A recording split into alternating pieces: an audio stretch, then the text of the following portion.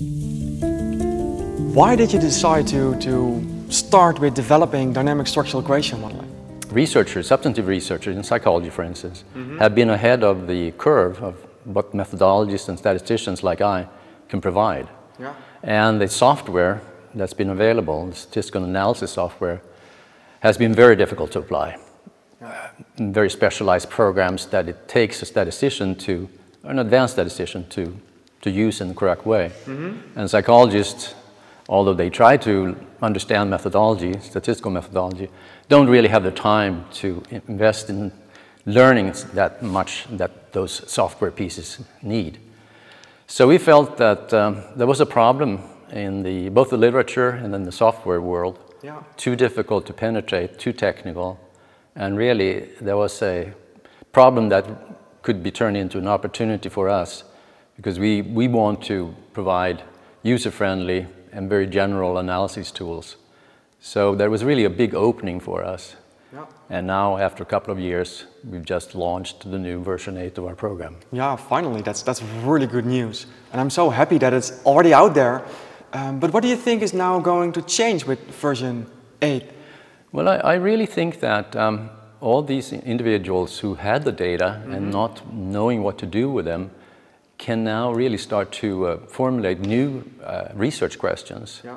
and hope to be able to answer them in a good way. Mm -hmm. So I, I, foresee that uh, there's going to be an increase in the literature, mm -hmm. research papers can get published, and more and more individuals are therefore going to get inspired to collect the data and be able to learn um, uh, from what the analysis show in a yeah. much deeper way than they've ever been before.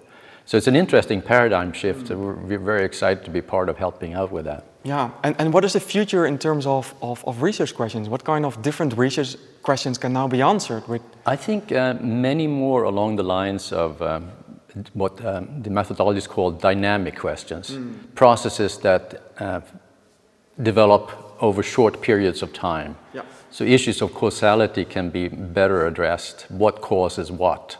That by looking at what happens before something else. Yeah. So that uh, dynamic process um, angle is what I think mm. people are going to understand the, the, the uh, importance of having this new methodology to tackle that. Okay, cool.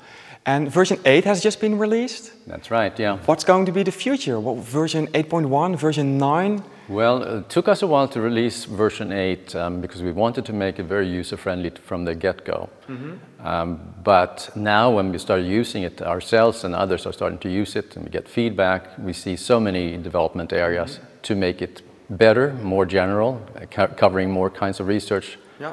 uh, problems and also faster and with more um, descriptive uh, output yeah. to, to really visualize your data and, and get the most out of it. So there will be 8.1, 8.2, 8.3 until it's time to delve into a totally new yeah. area, a new paradigm, yep. which could be something totally different than this. But I think for a couple of years now, we'll probably focus on this.